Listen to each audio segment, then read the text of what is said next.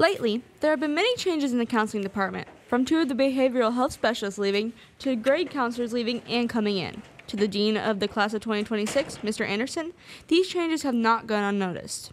So, what is in store for the counseling department? There's been a lot of changes um, that have taken place so far this school year. Um, we lost one counselor. We've lost two counselors this school year, um, Mr. Molina and Mrs. Moore.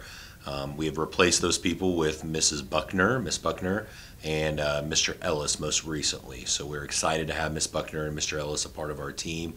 Um, that looks to be kind of our only changes moving forward as far as the counseling department goes. So we're super excited to have them. As mentioned, two of the behavioral health specialists have left. So, here's what has been done in the process of getting new hires. Um, so our admin team has been interviewing um, candidates for that. They've had interviews the last couple weeks. We do think we have found some qualified uh, candidates, so we're super excited to hopefully get them hired as soon as we can. While the counselors have left for their own reasons, from just getting a different job in education to leaving the education sector completely, Mr. Anderson believes it's their personal values that are responsible for these changes. But, as the saying goes, out with the old and in with the new. There is a new counselor to be introduced, Mr. Ellis.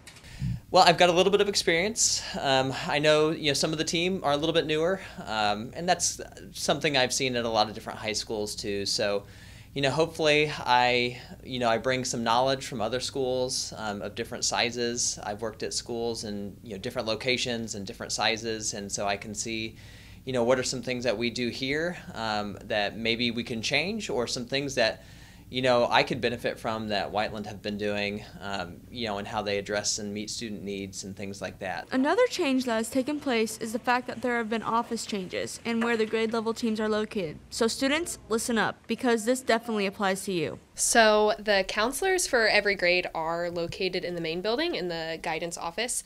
Um, and then, as far as deans go, the 10th and 12th grade deans are now located in the admin hallway up by the front office.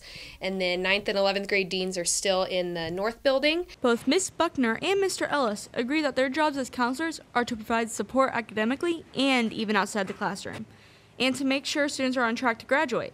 The counselors do this already for our students. However, there are some improvements that can be made. I think uh, I think we need to move, make sure that our communication with our students and our families are improved upon. So I think um, with Miss Buckner and, and, Mr. Ellis coming in, kind of new new faces, I think they're going to do a really good job with that communication piece and hopefully reaching out to families and, and kind of getting kids to understand and students to what they need to do to be successful beyond high school.